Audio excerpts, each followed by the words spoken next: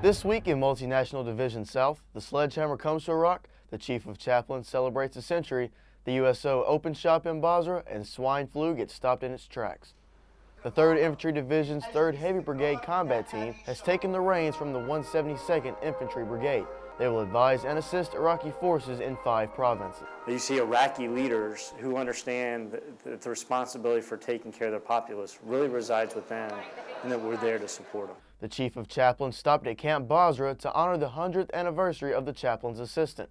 Carver says chaplain's assistants help ensure troops can worship freely and bring hope to those in harm's way. Regardless of where our soldiers go, wherever there are boots on the ground, there's going to be a chaplain or a chaplain assistant near them, reminding them uh, to have courage, reminding them that God is present.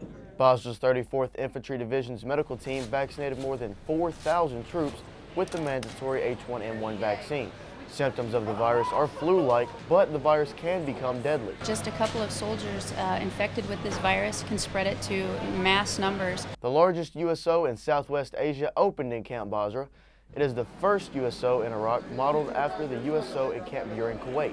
It is set up to give troops a taste of home. We actually have uh, a better place to go now, have uh, more of the same uh, commodities that uh, states would have, whatever. So it's kind of like a escape from the day-to-day -day life, whatever that we do out there. The new USO cost over $400,000, all raised by donation. From Basra, Iraq, I'm Private David Graves. Thank you for joining us.